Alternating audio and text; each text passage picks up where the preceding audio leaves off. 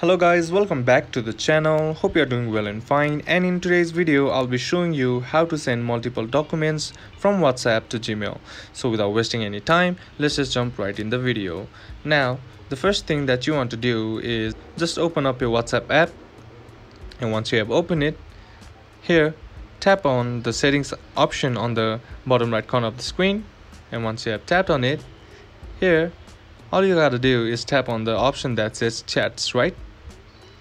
Now just tap on export chat and here select the um, select the chat that you want to export right? And now here you'll have two options that is attached media and without media.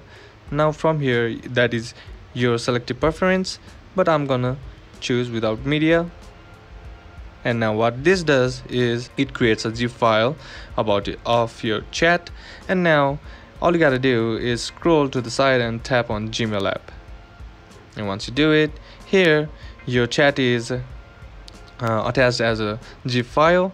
And now all you gotta do is select the recipient and then tap on the send icon to send the message. And that's how you do it. And that's basically it for today's video guys. Hope this video was useful to you. Leave a like if it did. Comment down below what the next video should be on. Consider subbing to the channel. Thank you for watching. Bye bye